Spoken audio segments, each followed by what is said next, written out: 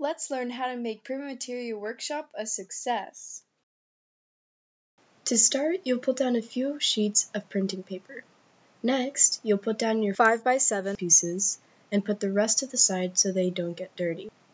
Tempera will be your best friend. You'll only be using this kind of paint for the workshop. For the individual set, white will be in the 3 ounce cups. Every other color will be in 1 ounce cups. You'll fill them about halfway. You'll have red, orange, yellow, green, blue, brown, black, and white. Next, get your rag. You'll have a big brush, a medium brush, a small brush, and a skewer. We'll also have a water container. Make sure to fill that up halfway as well. In the middle, we'll have a stack of napkins for neighbors to share. As well as a teeny brush. This is the end result for the individual set. Also, we've cut out violet, so make sure there's only 8 colors. Don't forget to put a disposable apron on the back of every chair.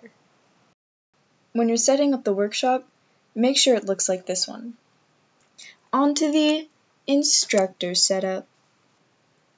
This is the instructor setup fully made. This angle shows a good example of how the instructor setup will look. So the first thing we're going to talk about are the paints. The instructor has two white paints and the rest of the colors are all in 2 ounce cups. The instructor also has a set of brushes, a large brush, a medium brush, a small brush, a tiny brush, and a skewer. All of the brushes are bigger size because we're working on a bigger format. The teacher also has two towels. The instructor will also need extra paper, and they'll also need a space for their binder for brief references. Underneath the table are three side tables. These are the red ones, so paintings can dry. Like all tables, it'll be covered in black and white newspaper. But why, you may be asking? Let me explain.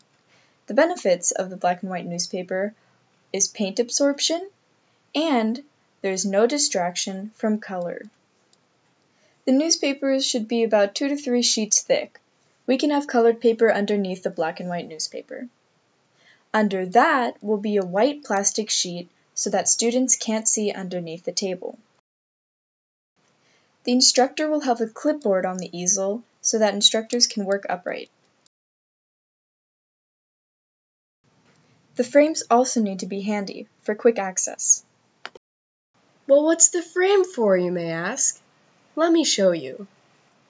Da na na na na na na da na na na na da na na na na na na na na na na na na na na na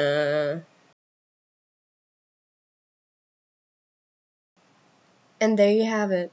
That's why we have the frame, to show off the paintings.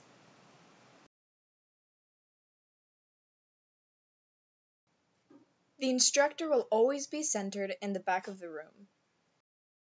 The table setup will have a U-shaped format. Evenly dispersed around the room will be side tables for paintings to dry.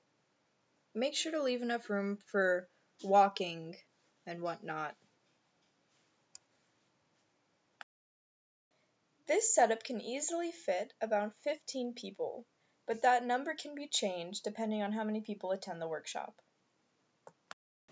Next up is our gift bag. We have a pink bag filled with our album and our certificates. For the albums, we have pre-made covers. We'll have to write the name and we'll have the correct date. The only insert that we have is on the back and that's about our master classes.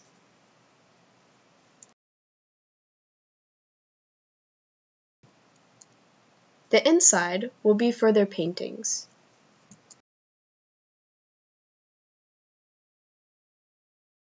Just like the album covers, they'll be pre-made, but we'll have to individualize them with the names. However, that's easy, and you won't have to do it. This is the back wall of the studio. We'll need about 12 to 16 pieces of works. Notice the color harmony in this. We'll be recreating that. This is the front end of the studio. Behind the instructor will be a large format painting, and on each side of the paintings will be two mirrors. This is to extend the room. Aw, look how adorable Oli is. And of course, thank you for being a part of the production team.